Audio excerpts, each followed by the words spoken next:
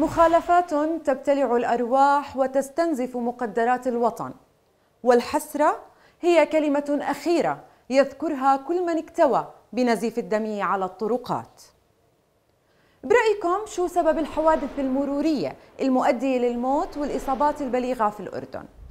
هل هو الانشغال بالهاتف النقال أثناء القيادة؟ سرعة زايدة؟ قطع إشارة حمراء؟ مسير بعكس اتجاه السير؟ قيادة بتهور؟ ولا اتخاذ مسرب خاطئ؟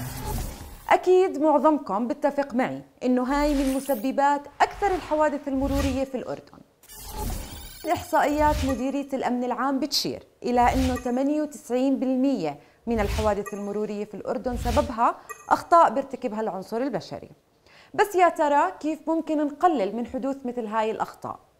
الموضوع بسيط وما بيتطلب. أكثر من أنه سائق المركبة يزيد من انتباهه وتركيزه أثناء القيادة ويبعد عن مشتتات الانتباه اللي ممكن يكون من أبرزها استخدام الهاتف أثناء القيادة.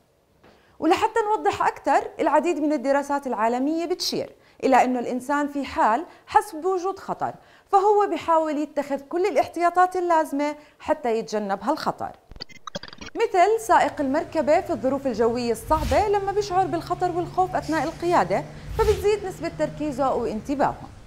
خلينا نربط هذا الموضوع بالإحصائيات الواردة بالتقرير السنوي للحوادث المرورية في الأردن لعام 2018 والصادر عن مديرية الأمن العام.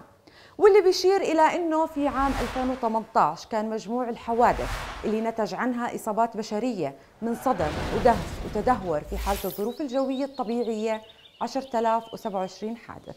بالمقابل كان مجموعها في حال الظروف الجوية الماطرة 346 حادث بقابلهم حادثين فقط خلال فترة الثلوج. أما عدد الحوادث اللي نتج عنها إصابات بشرية خلال النهار كان 6123 حادث مقابل 180 حادث في أوقات الظلام. ملامح تتغير وابتسامة تفارق الوجوه. تفاصيل الحكاية تحتضن لوعات الألم. ورود بملامح أطفال وعزم وأمل في عيون الشباب تجتث دون سابق إنذار.